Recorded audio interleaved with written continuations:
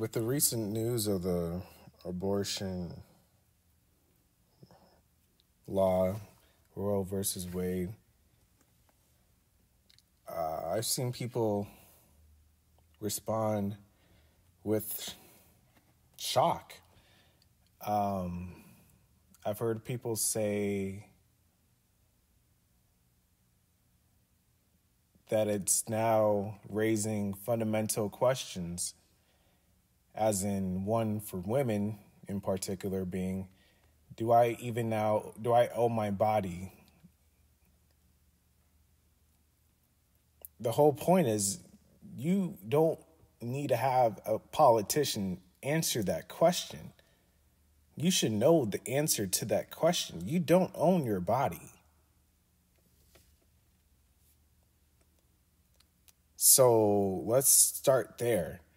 Yeah, you may not have the ability to do one specific thing now, per se, if you live in a certain state, per se, right? But no, you never owned your body. So let's get one thing first before we now get shocked that we can't now do one. Owning your body was never in the. You talk about free will, you're in the cage of nature. You're already without a certain will. There, there's an imposition that's in with this. So now we're talking about free will. I mean, it's not black and white. It's not like you don't have will and no, we have choices, but when it was never your choice to come into this will, how can you now say how can we contemplate free will? So women and it's it's it's unfortunate news for anyone. Anyone should be able to see the at least a humanity in why abortion should be existent. It's still going to be existent. It's not like things just stop. You know, humans will do what humans do, but it should be lawed into constitution because obviously i mean the hurt i mean there's a whole reason why people look to you know influence others to not be you know of existence and creating existence because there's going to be hurt and we know with certain people in certain situations they're going to hurt more um, so there should be a way out if there is a way out. But the whole question of owning your body, no, this is this is something that people don't know enough because clearly for them to contemplate such a question after abortion, I mean, these guys, you can, you can see the level of introspection that they've come up to in their lives. That's for the predominant sense of the majority of people. People think that's a very profound question, but that that's a very naive, naive question because you should have already known by now that you don't own your body. In many ways, it's your body owning you. So to be in this trance to still believe that you ever had owned your body. And again, it's not like you don't have a will. Yes, you can influence you know, you can dictate certain things, yes, but to say you own, you don't even know when you're gonna die. Now you're saying you own your body? You don't you don't ask to come into your body and now you own it? Do you really own it when something bad happens to you and you never want something bad to happen to you? But if you don't admit that bad things will surely happen. It's happened once before, it will surely happen again in anyone's lives. You don't want that to happen, but it happens naturally. So, owning your body, I don't know. People like to fantasize certain things and make it more grandiose than what it really is, but um no, we we we are we are on a roller coaster right now. You know, that's really what it is. Ups and downs. You think you got the wheel, but you you ain't really got the wheel. You really don't. Um, you really don't. So there's just certain things that we have to just go and do. Not to say that there aren't things we can choose to do, but there are certain things you have to go through. So, this owning body, I mean, many people would have been out their body by now. I mean, this clearly isn't the place to be. I mean, it really isn't. People are really, it's kind of like when you go to a party, if you've ever been to one, any type of party. The idea sounds nice, but then you look at what it actually is, and it's like, uh, it's like sex. I'm not much of a sex person myself, but the idea sounds nice, but then the reality is like, uh, you know, post nut clarification. That's what this world is. It, it, it, gets to show how clueless it is because you're, you're so fixed on someone, one very, you know, that you see the chakra, right? Uh, the the lust, the desire that you forget what the fuck any of this really is. You know, we're so far away. the bar has been dropped. The bar has been dropped. Um, so, yeah, when you look at marginalized people, we're all marginalized. If you have a body, you're already in a marginalized state of being. But in the conventional sense, in the political realm, it really makes no sense why people put people to have to do this people shit um, I mean, now you know you have the women. That's a whole category. All women feel disenfranchised, conventionally, traditionally speaking. They feel like they're in a subordinate position, which they are, but like they consciously know it, yet they continue to have women be in this marginalized position. Like, why are we creating this suffering for no reason? Misery loves company, I guess. And then you have the black community. I mean, just black already. Why are you putting people in this disenfranchised state of being? It, it, it's never been anything for however long, and now you're still wanting to put people in compromised states of being. Doesn't make any sense. You're messed up. You're fucked up. Why, why are you doing this?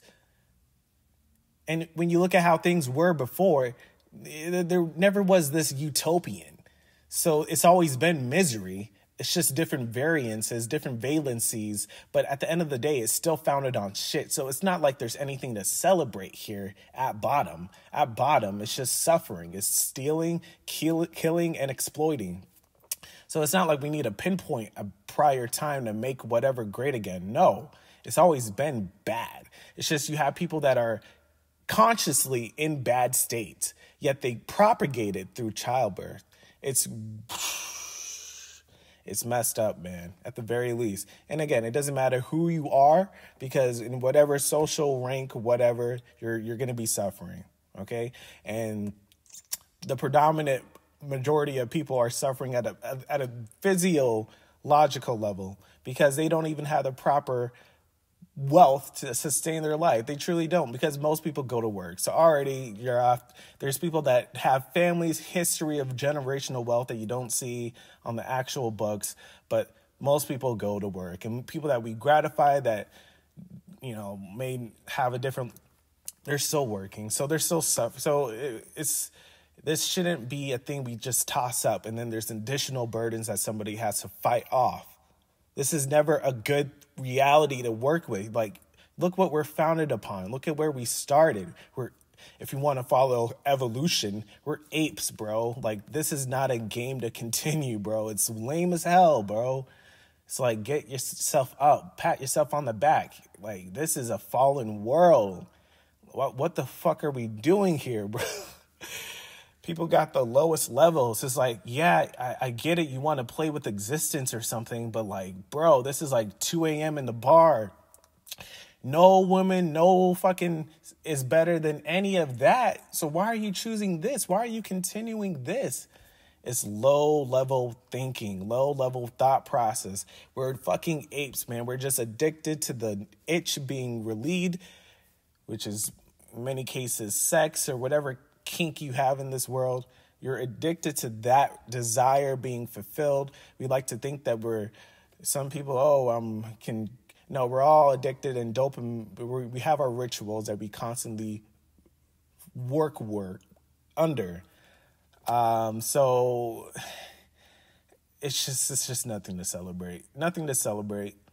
Uh, we're we're just like any animal. Um, so it's just it's just why, why? I mean, the very fact that you have any harm. I mean, it's it's there's people that say, "Oh, well, of course you have to have some type of bad to relate to the good." Well, there's a certain stretch where it's like, no, this is worked under bad bad processing. It's not just it's like a bad bug. So, yes, you get what they're saying, but they're not being really genuine with what they're saying because they're not relating it to the world. You you know the intricacies to see like yes, like this bad thing lets this bad thing because this is like the nuts and bolts of this is bad. So it's eh, it's it's in the equation. It's not like it's something we're trying to fix. It can't be fixed, you know? So But one way you can uh, look to refute the sentiment someone may say when they say, oh, well, there has to be some type of pain, there has to be some type of bad to relate to the pleasure, to relate to the good.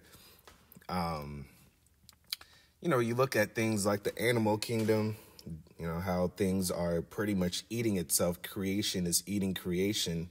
Uh, you see the insanity uh, that is just by default in the workers of this existence. Uh, so it it doesn't make sense to say that we have to relate the good to the bad because the the good doesn't come without the bad. So to say, oh well, we have to have this relative comparison. No, you don't get this good without first dealing with the bad predominantly already. So these people, they're just there's just not a genuine thing to say. Uh, but yeah, abortion is very unfortunate. Um, it's going to cause more people to have to come here. And it just goes back to the fact that, I mean, first off, you're dealing with humans that are really just, they're monkeys, you know, they're apes, or they're just, they're just very primal, instinctual. I mean, at the end of the day, it comes back to the fact that we're careless and we neglect things which is why this is even going to happen in the first place with abortion. So there's a whole just dumb aspect of humanity in that sense. But, you know, it's going to cause more people to be going back to their wage camps and, um, you know, just have to do unfortunate shit for the betterment of a few people, a few organizations, what have you. Um, it's all sadistic. It's all, it's all pretty pretty messed up.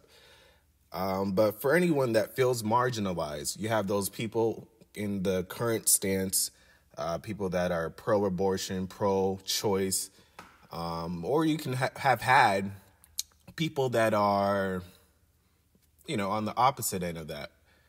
Uh, anti-choice, pro-life, concern. You know, it doesn't matter what side that you are in life in life, you are going to be marginalized. You're going to be disenfranchised. It's just that there's a superstructure uh, called politics where certain groups of people feel marginalized or more disenfranchised as other people. But at bottom, you're going to suffer. At bottom, you're in a subordinate position.